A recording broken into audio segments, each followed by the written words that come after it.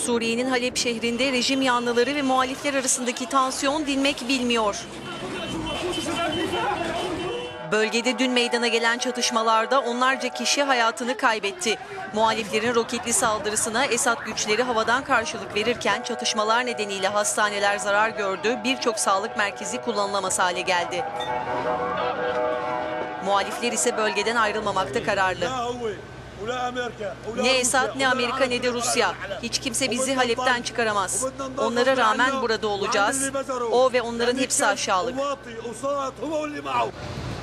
Birleşmiş Milletler Güvenlik Konseyi çarşamba günü çatışma bölgelerindeki sivillerin ve sağlık çalışanlarının korunmasına ilişkin karar tasarısını onayladı.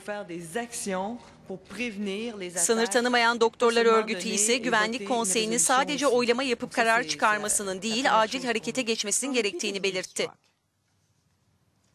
I repeat, stop these attacks. Güvenlik Konseyi Halep'teki çatışmaların durdurulması ve sivillerin korunması kararını oy birliğiyle kabul etti.